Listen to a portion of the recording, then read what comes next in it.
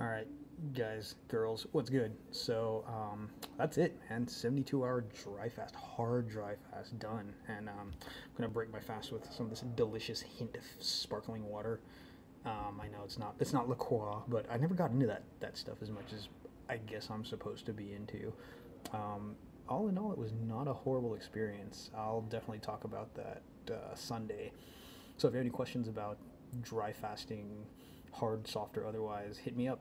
And um, yeah, yeah, I'm gonna I'm gonna get hydrated as as hydrated can possibly be, and probably make myself sick in the process. So cheers.